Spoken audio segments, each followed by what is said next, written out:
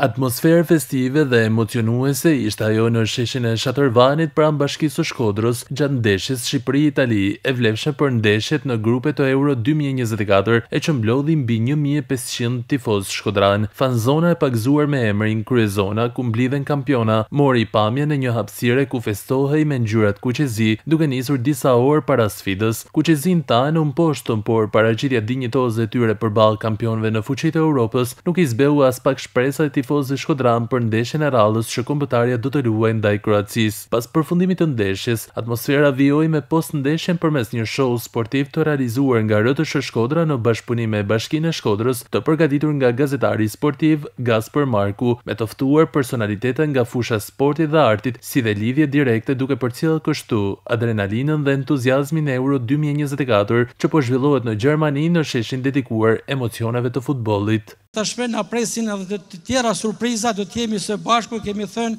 nga katërmbëdhjetë qershori deri më katërmbëdhjetë korrik për të përcjellë çdo ditë emocionet e këtij evropiani.